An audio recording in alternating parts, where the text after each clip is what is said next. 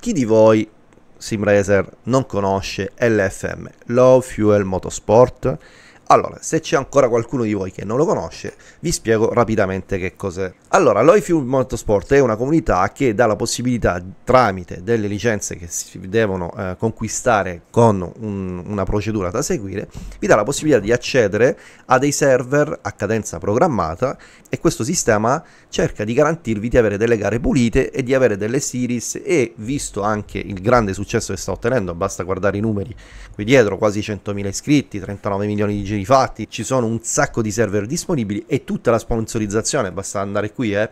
Coach Dave, Mozza, Case King, SimoCube, vi danno la possibilità anche di avere degli eventi ufficiali sponsorizzati dove ci sono anche dei premi. Insomma, l'FM è ormai una realtà nel panorama del mondo della simulazione molto molto molto eh, importante e si gira su assetto corsa competizione e su R-Factor 2 e quindi sfruttano il modello riadattato del rating di iRacing perché comunque è un sistema, un'idea molto interessante proprio per tenere a bada i videogiocatori online perché il problema principale di, del multiplayer, lo sappiamo tutti, sono le lobby pubbliche dove si trova di tutto. Mi fermo qua, non voglio fare commenti perché tanto non servono a niente. Allora, ma se tutti lo conoscono, Fabrizio, perché ci stai facendo questo video? Perché vi voglio segnalare un altro un altro sistema che si chiama Racecraft Online. Grazie a Rosario per avermelo segnalato. Rosario è un mio carissimo amico che mi ha detto Fabri ti piace Automobilista 2? Sì. Ti piace il sistema rating? Sì. Guarda, c'è Racecraft Online, è una cosa simile a LFM, è meno popolata ovviamente, è gestita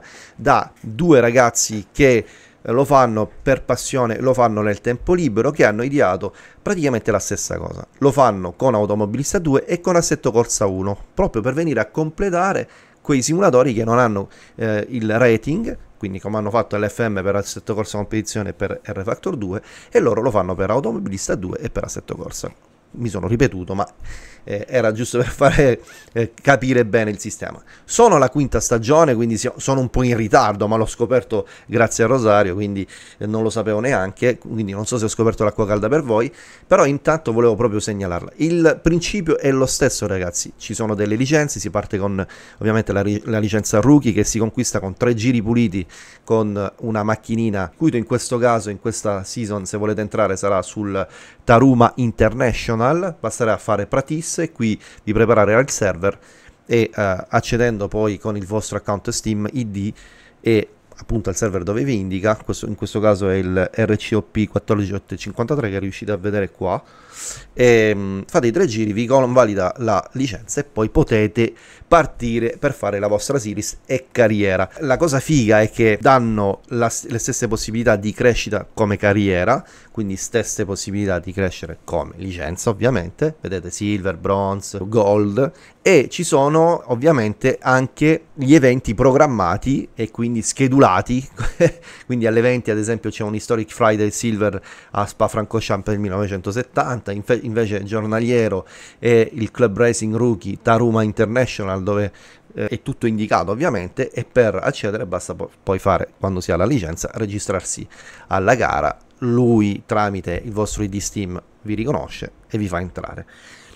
La bellezza comunque quello che è molto interessante è che Automobilista 2 non è tanto popolato e quindi il server completa le griglie con l'intelligenza artificiale. Allora uno potrebbe storcere il naso ma secondo me invece è figo perché per rilanciare il multiplayer di Automobilista 2 che vi dico ragazzi è un peccato perché merita questo auto- Automobilista 2 senza fare pro- propaganda, pubblicità ai Reza che non è che hanno bisogno di me. Però merita e se siete interessati a sapere perché merita scrivetemi nei commenti e io ragazzi vi faccio un video dedicato. Magari vi faccio vedere tutte le cose e che cosa offre questo simulatore. Quindi per tornare al discorso intelligenza artificiale le, la inseriscono perché se io sono da solo, magari alle 18.40 non c'è nessuno, almeno corro, mi faccio la mia serie, il, il mio, il mio, la mia carriera online ad esempio, e corro con qualcuno. E in più si adatta anche ai, alla media dei miei giri, quindi è una IA adattiva. È una cosa che secondo me questa dovrebbe essere ripetuta in tutti quei simulatori che magari non hanno tanto online, tanta presenza online, Raceroom ad esempio, che Ovviamente è una questione di gusti, ragazzi, però è un peccato vedere anche quel giochino, pure che è in DX9 dell'era della preistoria, però è un, è un simulatore che offre comunque parecchio contenuto, però l'online c'è poca gente o comunque molti server privati E quindi secondo me un, un discorso così potrebbe anche rilanciare il multiplayer in questo senso qua. Niente ragazzi, io volevo segnalarvi questa cosa qua perché questo Racecraft Online, perché trovo che è sempre una figata avere dei servizi così e magari potrebbe rilanciare il multiplayer di Automobilista 2 che piange parecchio, devo dire la verità, ed è un peccato.